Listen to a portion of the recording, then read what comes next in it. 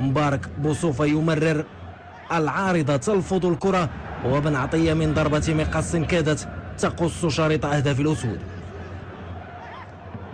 السعيدي كان رجل المباراة من دون منازع. هنا يمد الشماخ بعرضية على مقاصي لاعب الأرسنال.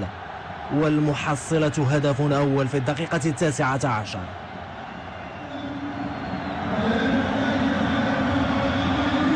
مروان الشماخ عرف إلى أين يرسل كرته لتعانق الشباك.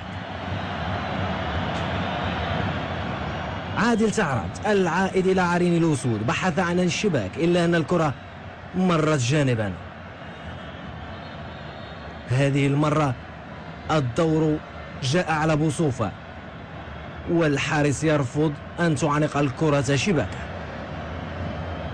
وعلى حين غرة من دفاع المنتخب الوطني المغربي صدلا يعاكس التيار ويوقع هدف التعادل لتنزانيا في الدقيقة الثلاثين. الشوط الأول ينتهي بتعادل لا ينصف أداء الأسود إلا أن للشوط الثاني وجه آخر للعناصر الوطنية.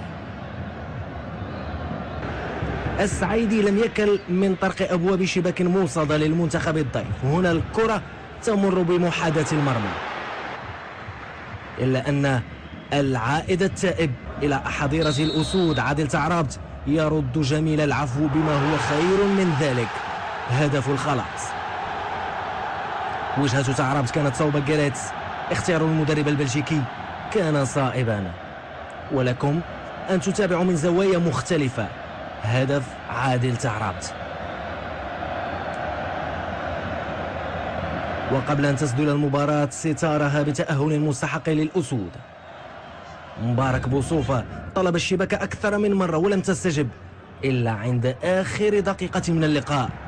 هدف ثالث مسك الختام من قدم لاعب رغم قصر قامته إلا أنه كان عملاق المباراة.